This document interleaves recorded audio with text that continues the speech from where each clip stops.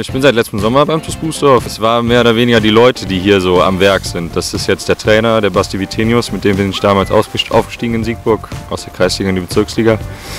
Und ist ein cooler Typ, spornt immer sehr an, sehr viel Motivation dabei, macht gute Trainingseinheiten.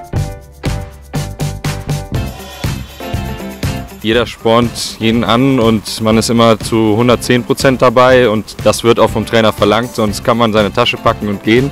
Das weiß hier auch jeder und ähm, da ziehen alle voll mit.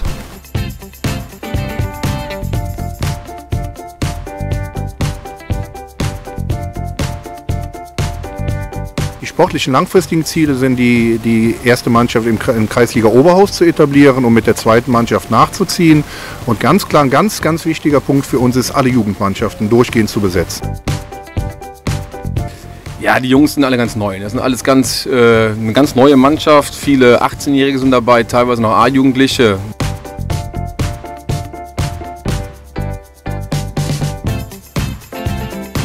Spielerisch haben wir auch echt ein paar gute Burschen dabei, die gut ausgebildet worden sind, die auch schon mal in der Kreisliga Erfahrung haben. Und ich denke, das macht uns das so aus, die Kompaktheit und ja, die Disziplin der Mannschaft. Man muss ganz klar sagen, wenn wir mittelfristig nicht diesen äh, Hybridrasenplatz bekommen, dann sieht es für den Verein schlecht aus. Aber wir sind auf einem sehr guten Wege. Wir befinden uns in sehr konstruktiven Gesprächen mit der Stadt, werden hervorragend unterstützt seitens der Stadt und ähm, das Ziel ist spätestens im Jahr 2016 hier den Hybridrasen äh, liegen zu haben. Wenn man Erster ist und nur ein Unentschieden drin hat, dann denkt man natürlich schon, wie geht es jetzt weiter, Spiel für Spiel und wenn es am Ende reicht, dann wäre es natürlich schön. Dann dürfen die Jungs auf meine Glatze unterschreiben alle. Ja.